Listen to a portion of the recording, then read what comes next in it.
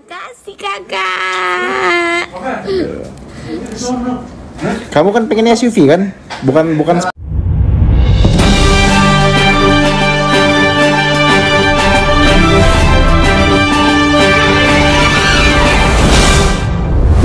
Terus jangan lupa di like, komen, dan subscribe terus di share juga ya. kan masa harus dengerin apa kata orang ya kan kita yang mau jalanin Iya makanya. Makasih kakak. Kamu kan pengen SUV kan? Bukan bukan sport kan? Iyalah, Bukan sedan kan? iyalah. Dede Rubicon maunya malah. Kamu ngapain mau nyulik orang kamu? kan itu mobil identik nyulik orang Jeep. Tak jangan CEO nih. Jangan terkenal ya ntar. orang gila tuh. Stres.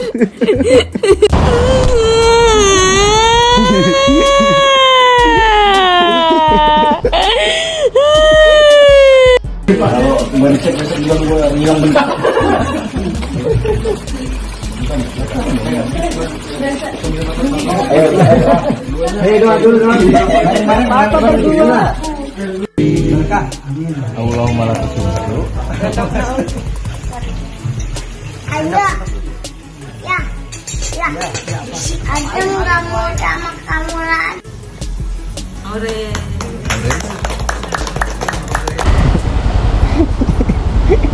Kenapa kamu? Hmm.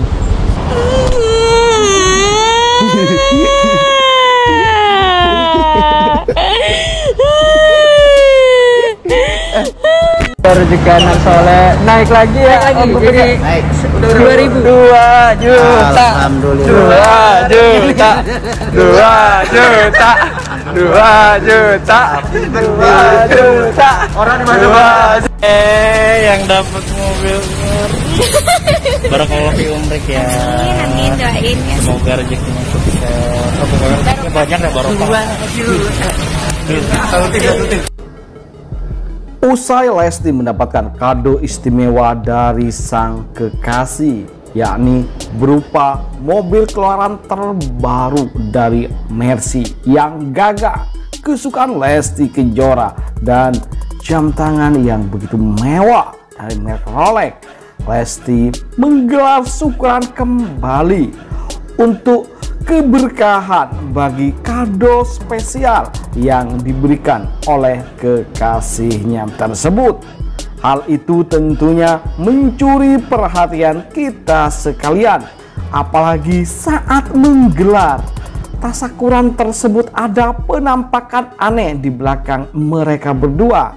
Ya, penampakan kebahagiaan dari wajah Lesti dan Bilar yang Rizky Bilar bisa memberikan kebahagiaan surprise terindah bagi kekasihnya dan penampakan keromantisan dari hubungan dan perjalanan cinta mereka. Siapa saja yang tak senang mendapatkan surprise yang begitu mewah di atas ekspektasi mereka yakni surprise yang diberikan oleh Rizky Bilar yang tak main-main. Masih dalam prosesi tunangan tapi surprise yang diberikan sangat istimewa untuk pujaan hatinya berupa mobil Mercy dan jam merek Rolex yang tentunya guys harganya fantastis. Hal itu membuat kita semua yang mengikuti perjalanan dan kisah cinta Lesti Kejora sedari awal yang begitu mempesona, begitu membahagiakan, menaikkan imunitas tubuh kita. Tentu kebahagiaan itu adalah kebahagiaan bersama, kebahagiaan para asisten serta kameramen Rizky Bilar dan Lesti yang mana Lesti pun akhirnya menaikkan uang sodakohnya uang berbagi kebahagiaannya pada mereka menjadi 2 juta per orang. Ya sebagai bentuk tasakuran bagi hadiah itu. Alhamdulillah Dede selamat ulang tahun ya semoga panjang umur deh semoga sehat selalu Dede Abeni ya Panjang umur ya. terima kasih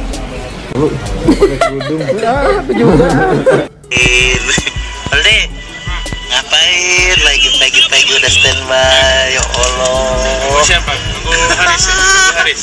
Ya, ada Haris di sini. Mas, tangkap ya, tangkap.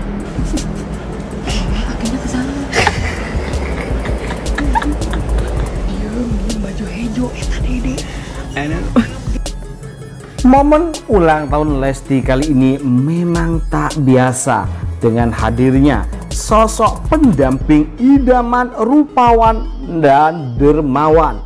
Hal tersebut menunjukkan betapa mereka sedang bucin, sedang dimabuk asmara. Ya, calon manten yang harus menunda pernikahannya karena PPKM. Tetapi perayaan. Hari ulang tahun Lesti ini begitu membuat kita semua bahagia. Digelar sederhana namun rupanya hadiah yang diberikan oleh Rizky Bilar begitu mewah.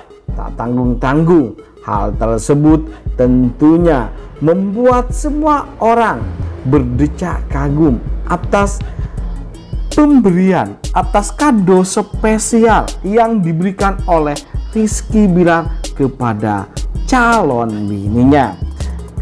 Dan yang menjadi menarik sekali juga adalah Lesti dan Bilar belum menikah. Namun kado spesial itu begitu membuat semua orang menjadi iri ingin memilikinya hal yang serupa. Namun Bilar hanyalah seorang sehingga banyak yang berdoa semoga mendapatkan jodoh seperti Rizky Bilar yang tampan, rupawan, dan juga baik hati serta royal alias dermawan dan tak hanya pada Lesti, pada keluarga Lesti, pada kru asisten yang selalu bersinggungan langsung pada Rizky Bilar. Makanya tak heran Rezeki Rizky Bilar mengalir deras bak hujan yang tiada henti. Tentu itu adalah berkah serta sesuatu yang spesial. Kita tahu sebelumnya Rizky Bilar rupanya bekerja siang hari, siang malam hanya ingin memberikan surprise istimewa kepada kekasihnya, kepada orang yang ada di sisinya yakni Lesti Kejora. Tentu di momen hari ulang tahun Lesti ini dan sebelumnya momen ulang tahun Rizky Bilar mereka begitu bucin dan mereka tampak bahagia. Ya, kebahagiaan itu terlihat dari wajah mereka berdua yang makin hari makin romantis aja makin hari makin sesuit saja. Maka dari itu agar kalian tak ketinggalan informasi dan kabar terbaru tentang mereka berdua di pagi hari ini, di hari ini, jangan lupa untuk langsung subscribe bagi yang masih belum dan jangan lupa untuk like dan kasih komentar agar keseruan hari ulang tahun Lesti ini syukuran selesai mendapatkan kado mobil mewah semakin menarik. Kira-kira bagaimana menurut kalian terkait hal ini? Jangan lupa like, komen, dan subscribe tentunya. Terima kasih telah menonton. Yuk, bye-bye.